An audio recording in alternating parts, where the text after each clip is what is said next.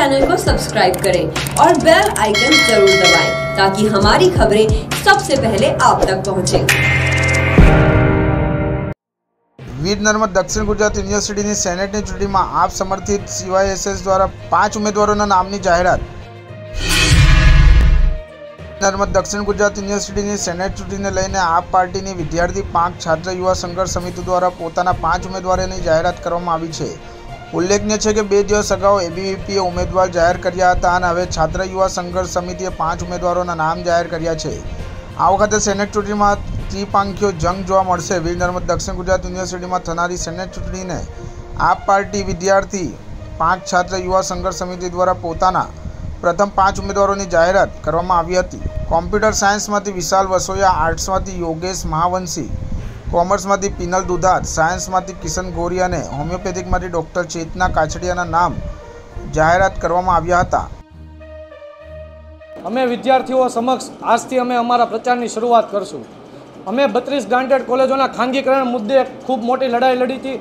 Athwa lines ખૂબ મોટા banner સાથે અમે યુનિવર્સિટીને ટક્કર આપી હતી અને યુનિવર્સિટીએ આ બત્રીસ ગ્રાન્ટેડ કોલેજોનું ખાનગીકરણ અટકાવ્યું હતું. ત્યારબાદ નમો ટેબ્લેટ બાબતે ખૂબ સંઘર્ષતાથી અમે લડાઈ લડી હતી અને વિદ્યાર્થીઓને જીતુભાઈ વાઘાણીનો ભગવાન મહાવીર કોલેજ ખાતે વિરોધ કરતા બે દિવસમાં કેબિનેટ મંત્રીની મિટિંગ મળતા વિદ્યાર્થીઓને ટેબ્લેટ ફાળવણી ચાલુ કરવામાં આવી હતી. આવા અનેક પ્રકારના મુદ્દા અમારા વિદ્યાર્થીઓ સમક્ષ છે.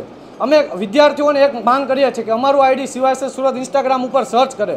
ત્યારબાદ એમ લાગે વિદ્યાર્થીઓને કે અમે વિદ્યાર્થી માટે કામ કર્યા છે, તો અમને વિદ્યાર્થીઓ મત આપે.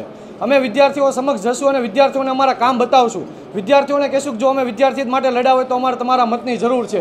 અને અમને ખાતરી છે કે વિદ્યાર્થીઓ, અમે વિદ્યાર્થીઓ માટે લડ્યા છે એટલે અમને મત આપીને વિજેતા બનાવશે.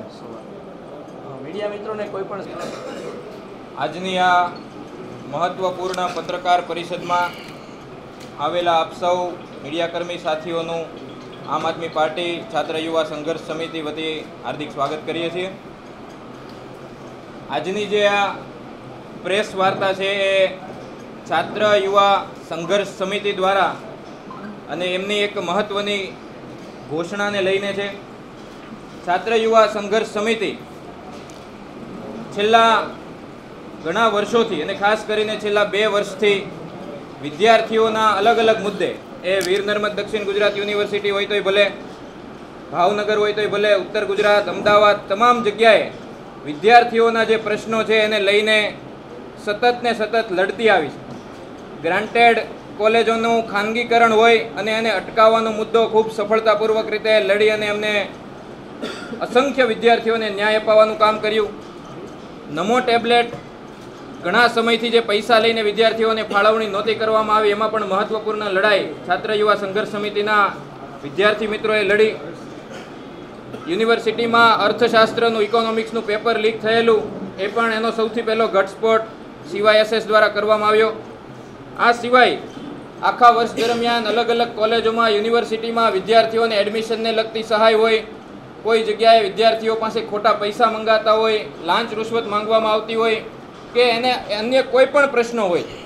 છેલ્લે વિદ્યાર્થીઓને આપણી યુનિવર્સિટીમાં ઘણા બધા વિદ્યાર્થીઓને ખોટી રીતે ફેલ કરવામાં આવેલા, બહુ મોટી સંખ્યામાં. એની સામે પણ લડત લડી અને વિદ્યાર્થીઓનું વર્ષ બચાવવાનું, એના વાલીઓના પૈસા બચાવવાના, આવા અસંખ્ય કામો છાત્ર યુવા સંઘર્ષ સમિતિ દ્વારા છેલ્લા વર્ષોમાં કરવામાં આવ્યા છે.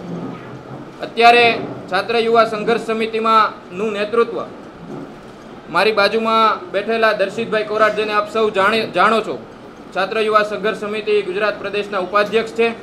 અને એમના નેતૃત્વમાં આજે આપણે ઘણી મહત્વપૂર્ણ ઘોષણાઓ કરવાની છે. તો આગળની વાત આપણને દર્શિતભાઈ કોરાટ કરશે. એ તમામ પરીક્ષણ પછી અમારા દ્વારા જાહેર કરવામાં આવ્યા છે.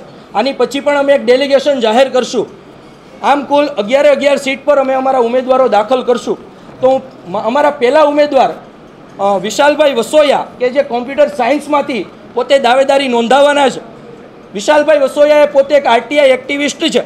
જાગૃત નાગરિક છે અને અત્યાર સુધી આપ સૌ જાણો છો કે ઘણા બધા મુદ્દાઓને લઈને યુવાનોમાં અને વિદ્યાર્થીઓમાં હંમેશા જાગૃતતાપૂર્વક આગળ આવ્યા છે. એટલા માટે કોમ્પ્યુટર સાયન્સ ફિલ્ડમાંથી અમે વિશાલભાઈ વિસોયાને ઉમેદવારી માટે આગળ કર્યા છે. આર્ટ્સ ફિલ્ડમાંથી અમારી વચ્ચે યોગેશભાઈ માયાવંશી, કે જે અમારા આર્ટ્સ ફિલ્ડના ઉમેદવાર છે, પોતે ટ્રાઇબલ એરિયામાંથી આવે છે. તમે સૌ જાણો છો કે આર્ટ્સમાં સૌથી વધારે વિદ્યાર્થીઓ ટ્રાઇબલ એરિયાના છે.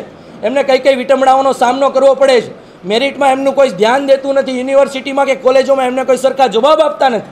આવી બધી પ્રક્રિયાઓના કારણે યોગેશભાઈ માયાવંશીને અમે આર્ટ્સ ફેકલ્ટીમાંથી મેદાને ઉતારીએ છીએ. કોમર્સ ફેકલ્ટીમાંથી અમારા ઉમેદવાર છે પિનલબેન દુધાત. પિનલબેન દુધાત એકમાત્ર એવા ઉમેદવાર છે કે જે કોમર્સ ફેકલ્ટીમાંથી પહેલીવાર મહિલા તરીકે પોતાની દાવેદારી નોંધાવે છે, જે અમારા માટે તો ગર્વની વાત છે જ, પરંતુ સમગ્ર વિદ્યાર્થી સમાજ માટે ગર્વની વાત છે.